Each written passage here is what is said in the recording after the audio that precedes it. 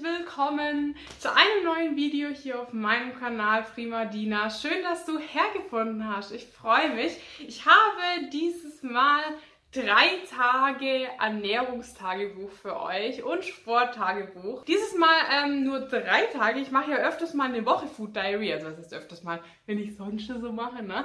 Aber dieses Mal habe ich gedacht, machen wir nur drei Tage, weil ich euch dann einfach jeweils die ganzen Rezepte einfach auch, ja, mit zeigen kann und so. Das ist einfach viel, viel interessanter für euch wahrscheinlich auch mit den Rezepten ja, zum Nachmachen. Selbstverständlich auch mit den Nährwerten und ähm, ich zeige euch auch, was ich so Sport mache die drei Tage.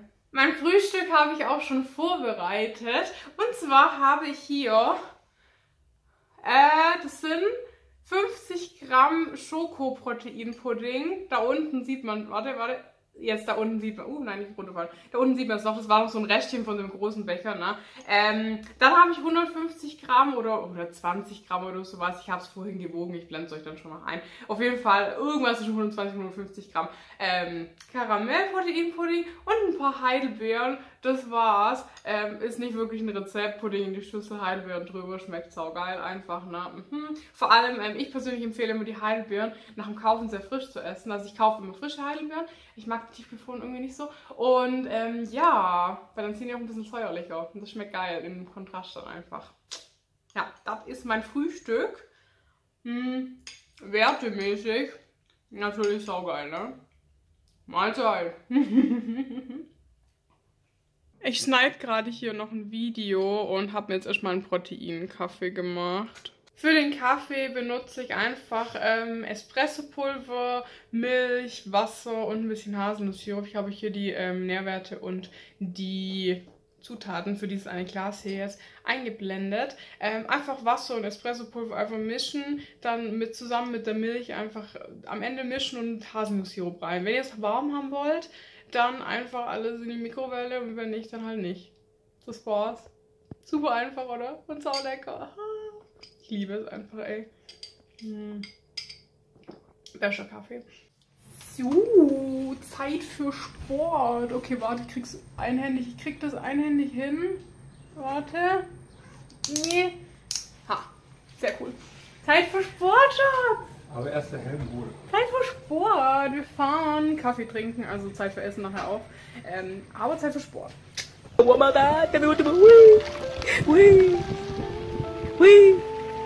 So, nochmal ein kurzes Päuschen mit Getränk. Wir sind vorher eingekehrt in unserem Lieblingscafé. Da habe ich einen äh, Frozen Coffee, Coffee Frappé, wie auch immer. Ein Kaffee Frappé halt einfach. Ähm, getrunken. Der ist ähm, ohne Zucker. Die Nährwerte blende ich euch hier auch wieder ein. Und ja, kleines Bäuchchen mit Wasser. Erstmal nicht sterben, okay.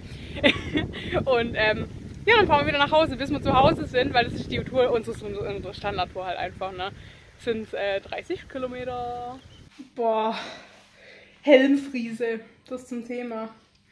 Wir sind wieder zu Hause und ich habe dermaßen Hunger, weil ich habe jetzt heute Frühstück gegessen, habt ihr ja gesehen und äh, der Kaffee und der Kaffee ist ja nicht mal sündig gewesen, weil ich ja quasi wirklich nur Milch, gefrorenes Wasser, Kaffee. Ich habe extra gesagt ohne Zucker, aber ich frage immer mit oder ohne gesüßt, sage immer ohne und ja, das heißt, der ist nicht mal sündig.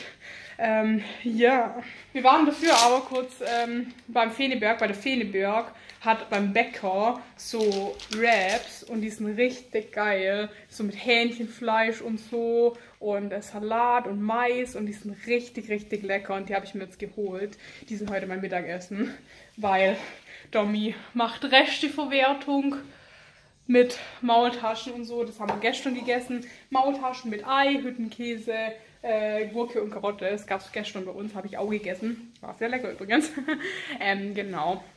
Heute Abend gibt es ja Hauptessen, gibt es Mantis, äh, weil ich unbedingt äh, Sachen dampfgaren muss, äh, seit ich äh, hier das Teil hier habe. Und ja, jetzt freue ich mich aber auf die Wraps, weil ich habe echt Hunger. Für den Teig für die Mantis habe ich einfach Wasser und Weizenmehl und ein bisschen Salz vermengt, da einen Teig draus gemacht, ausgewählt und diese typischen Eckchen geschnitten, die ich dann gefüllt habe mit der Füllung aus Hackfleisch, habe ich Rindenhackfleisch verwendet, klein geschnittene Paprika, klein geschnittene Zwiebel, ein bisschen Salz, ein bisschen Koriander. Das habe ich dann einfach gefüllt und mit 700 Milliliter Wasser Dampf gegart. dazu habe ich einen Creme Fraiche Dip gemacht, einen Creme Fraiche Light mit Kräuter und Gewürzen drin, Salz, Pfeffer, Paprika und äh, was die Kräuter angeht, Thymian, Oregano, Basilikum und Petersilie. Und dazu gab es noch einen Salat mit der Essigöl-Salatsauce. Die sind echt lecker übrigens, wollte ich noch sagen. Und die sind toll, weil ich einen Dampf gegart. Habe ich schon wieder die Dampf gegart sind? ich blende euch hier ähm, übrigens die Nährwerte mal noch ein von den Dingern, beziehungsweise von meiner Portion, die ihr auf dem äh, Teller gesehen habt. Die habe ich mühevoll in Kleinstarbeit ausgerechnet von den ganzen Gesamtzutaten vorhin, ja. Ähm, bezüglich der Zubereitung habe ich euch ja vorhin ein äh, bisschen erzählt, wie das so geht. Die ist ganz einfach und jo, das ist übrigens die Gesamttagesbilanz. Wir sehen uns morgen. Zweiter Tag. Guten Morgen. Es ist der zweite Tag. Ich nehme euch auch heute wieder mit, was Sport und Essen angeht.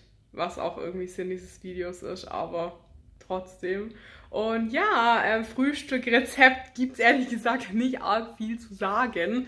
Ähm, Proteinpudding der ist fertig.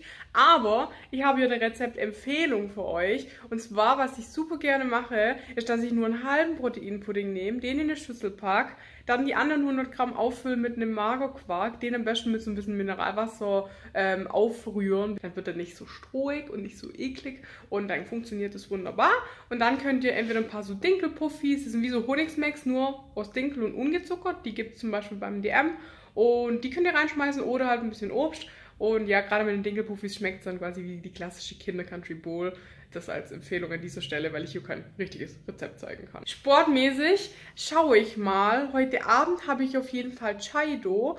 Aber wir werden mal gucken, ob ich äh, mittags noch irgendwas mache oder nicht. Ich bin heute ziemlich im Arsch. Weil ich habe gesehen, gestern, was ich da an Sport gemacht habe. Und gestern war Tag 6 in Folge, an dem ich jeden Tag Sport gemacht habe. Vielleicht mache ich auch mal einen Pausetag.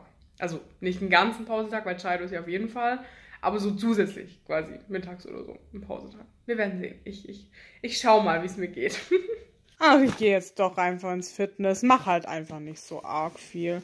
Ein Handtuch, eine Sporthose, oh Gott, ey, ein Sport-T-Shirt, ein Sport-BH und was zum Trinken.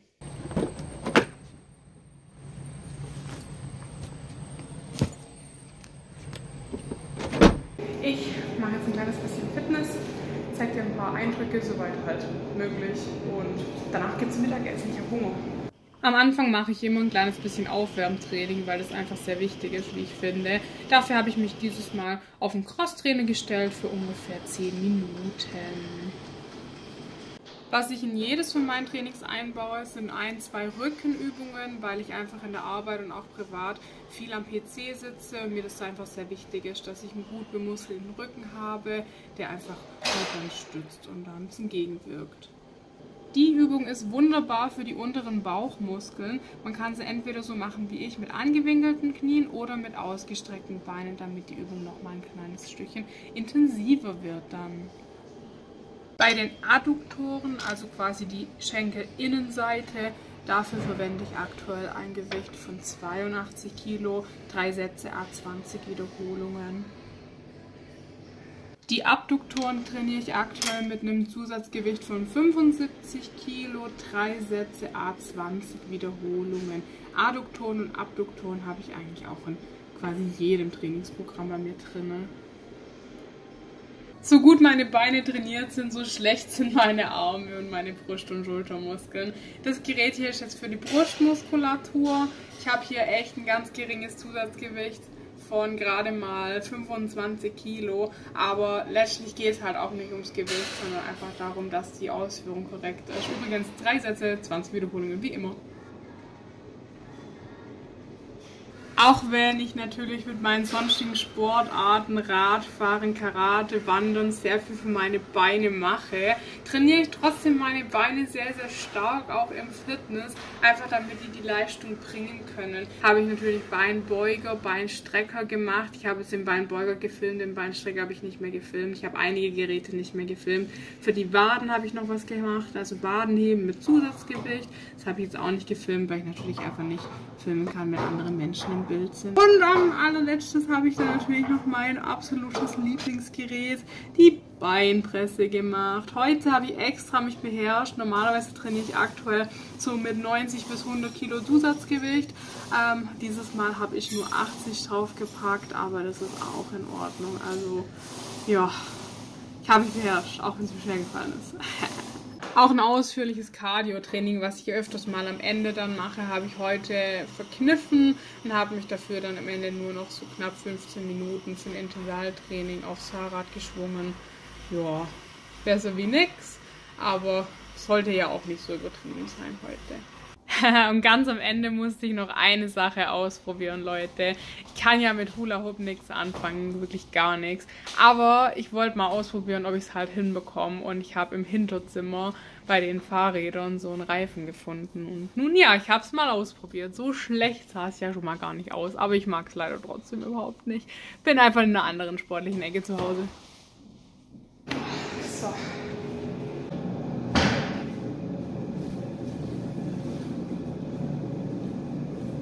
Zum Mittagessen gibt es eine Scheibe Brot mit Tomatenmark. Da mache ich echt viel drauf, weil ich das echt sehr, sehr gerne mag und kann wunderbar als Butterersatz dienen. Dann noch eine Scheibe Käse drauf, Essiggurken. Ich liebe Essiggurken. Bisschen Hirschsalami und noch mehr Essiggurken. Hm. Das ist so gut. Das Brot habe ich übrigens selber gebacken. Das ist ein Bio-Dingle-Vollkornbrot und das Rezept verrate ich dir natürlich. Für das Brot nimmst du einfach eine Kastenform und fettest die gut mit Margarine ein, auch in den Ecken und kleidest die einfach mit Haferflocken dann schön aus, damit es nicht klebt, das Brot. Dann für den Teig 250 Gramm Wasser und einen Würfel Hefe schön vermischen. Einfach brauchst du auch keine Maschine dafür, kann man auch einfach so machen. Da kommen dann äh, 500 Gramm Mehl rein. Ich habe jetzt Bio-Vollkornmehl genutzt. Dann einfach das, was ihr rein haben wollt. Haferflocken, Nüsse, Sonnenblumenkerne habe ich noch reingetan. Und dann Sesam habe ich noch reingetan. Da könnt ihr euch aber einfach Kreativität äh, freien Lauf lassen, was ihr halt Bock habt. Dann muss noch zwei Esslöffel Essig rein. Das wirkt komisch, schmeckt aber sehr gut da drin. Dann einfach kneten. Auch hier wieder geht auch ohne Maschine. Kein Problem, braucht ihr nicht den Teig einfach ab in die Form und obendrauf noch ein paar Körner draufstreuen. Sieht dann ganz hübsch aus. Braucht ihr nicht, aber es sieht halt einfach nett aus. Ich habe es gemacht. Dann ab in den Ofen. Der muss nicht vorgeheizt sein. Und bei Ober-Unterhitze für eine Stunde lang backen bei 200 Grad. Dann ist das Brot fertig. Auskühlen lassen, aus der Form holen und tada! Wundervoll! Mittagszeit ist Kaffeezeit und äh, bevor ich nachher ins Training fahre, mache ich unbedingt noch einen Kaffee. Heute ist richtig warm, deswegen optimal für einen Eiskaffee. Für ein Glas von dem Kaffee schmeiße ich 70 Gramm Eiswürfel, 20 Gramm Proteinpulver. Ich benutze gerade das da hier, einen Löffel Kakao und 200 Milliliter Milch einfach in den Mixer und mixe es einfach für 20 Sekunden lang.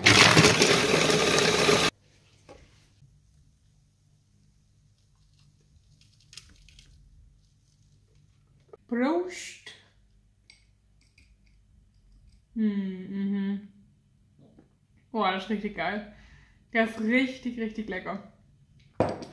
Und das Kakao da drin, ne, diese Backkakao, gibt dann noch so eine herbe, herbe Note. Das ist, oh, müsst ihr unbedingt probieren, richtig lecker. Das hier sind die Nährwerte für ein Glas von dem Kaffee jetzt, beziehungsweise von dem Eiskaffee, Kaffee Frappé, wie auch immer. Wie auch immer ihr das nennen wollt. Ich habe äh, jetzt normale eine halbe Milch benutzt. Wenn ihr die Proteinmilch benutzt von MyQ oder gibt ja verschiedene Hersteller, dann äh, hat es natürlich noch mehr Protein. Ich habe jetzt wirklich stinknormale einhalbe Milch benutzt. So, einmal Taschenwechsel.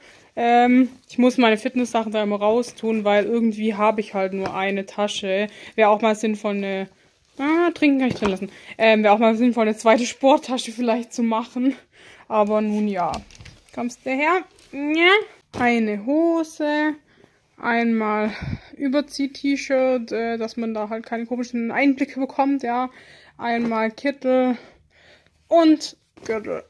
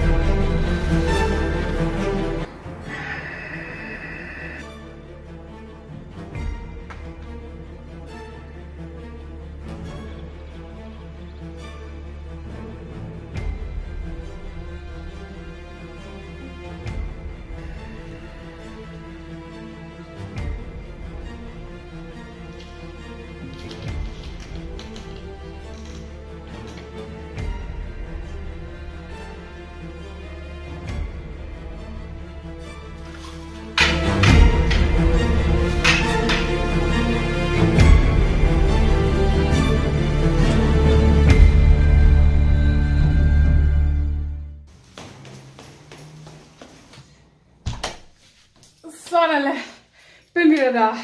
Training war richtig cool wieder und wir habt ja gesehen, wir studieren so ein bisschen am äh, Last Samurai Szene ein gerade und es macht einfach total viel Spaß. Wir machen einfach immer wieder andere Sachen, es ist super abwechslungsreich und ja, der Trainer und natürlich auch die ganzen anderen Schüler sind einfach alle super, super nett. Ich verlinke euch unten auch mal das Dojo, das ist das Zanchen Allgäu in Kaufbeuren. Schaut gerne mal vorbei auf der Insta-Seite oder auf der Website von denen. Mega nett. Ich fühle mich da super, super wohl und vielleicht ist ja auch was für euch. Uh, es ist Zeit für die letzte Mahlzeit des Tages. Ich habe Spieße, Fleischspieße, die versuchen Fleisch zu sein, aber kein Fleisch sind. Wir haben natürlich noch mehr. Wir haben einmal Rind und einmal Schwein. Für den Dommi, für mich. Und wir haben Maiskolben. Selber marinierte Maiskolben. Saugeil. Uh, ich bin voll gespannt, wie es wird. Angrillen. Ah.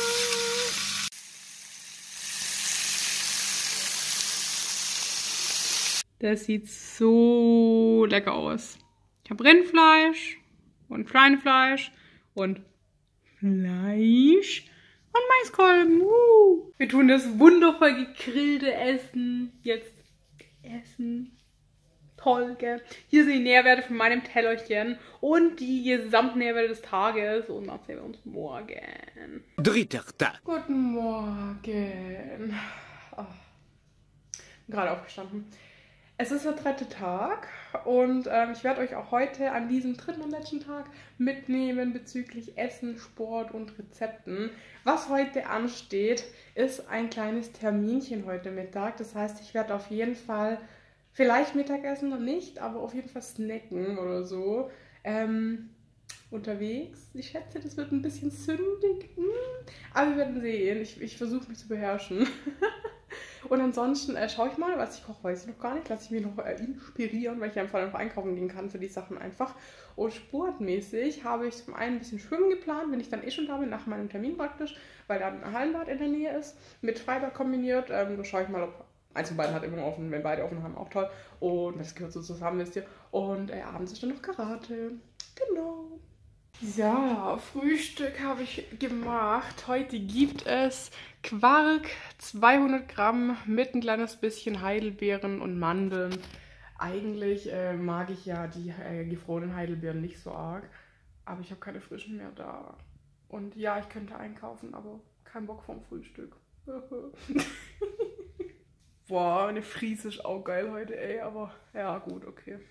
Bin ja auch frisch aufgestanden. Meistens trinke ich ja Wasser. Für heute habe ich mir aber hier knapp eineinhalb Liter Tee aufgesetzt.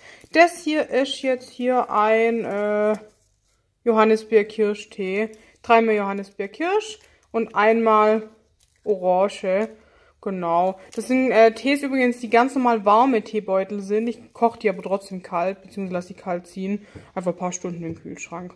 Und da kommt dann noch ein bisschen Zitronensaft rein und ein bisschen 0%. Sirup. Da gibt's keine Nährwerte, weil da ist halt, da ist halt alles auf Null. Also, ja. Auf geht's zum Schwimmen. Aber wir müssen vorher noch Altpapier und gelbe Säcke wegbringen.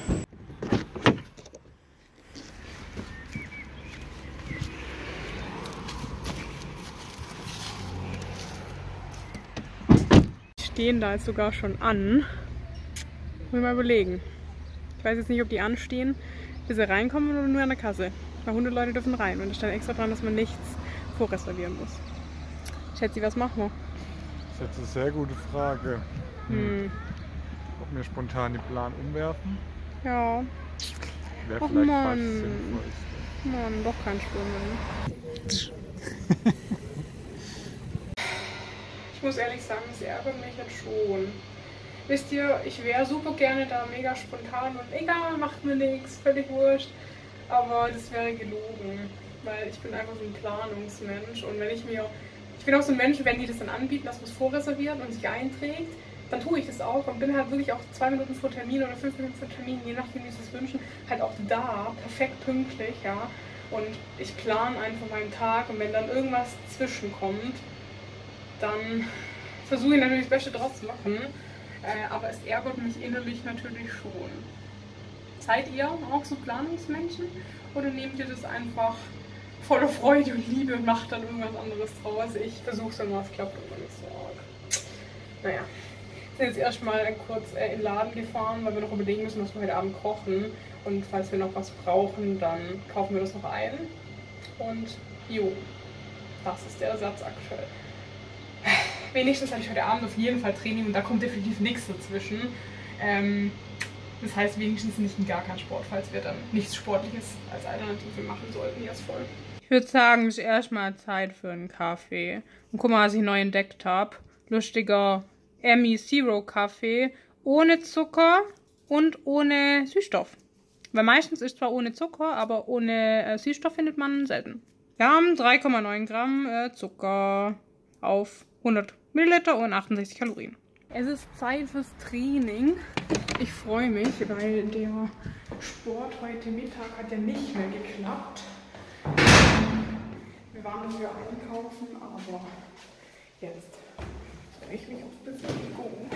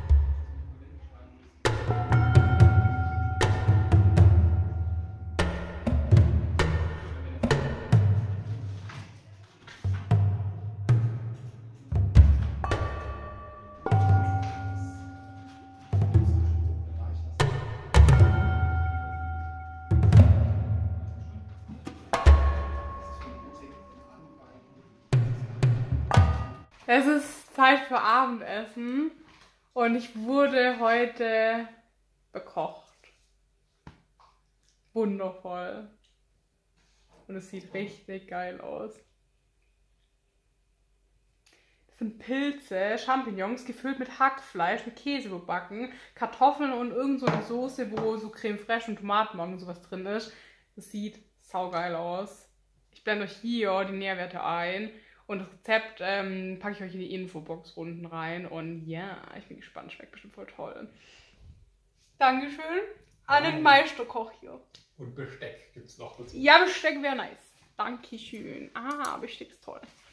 Essen war ultra, ultra, ultra lecker. Oh mein Gott. Schatzi, Überraschend gut, gell? du, hast du voll gut gemacht. Yay. Danke fürs Kochen. Danke fürs ist Helfen. Ja, voll gerne. So, hier ist die Tagesbilanz. Und äh, ich würde sagen, äh, wir gehen jetzt definitiv mal ins Bett, weil es ist nämlich echt spät. Ne? Wow, ja. Und wie? Mega. Ne? Wie gesagt, die Rezepte habe ich euch entweder unten in die Infobox gepackt oder ich habe es euch im Video erzählt und gezeigt, äh, je nachdem. Und äh, ja, ich hoffe, dass euch dieses Video gefallen hat. Da ist noch ein komisches anderes Video und da noch eins. Und das sehen wir uns beim nächsten Mal. Damit dann. sagen wir jetzt Alexa, gute Nacht. Oh, sie hat süßes Räumen gesagt, immerhin. Okay, tschüss! Ciao.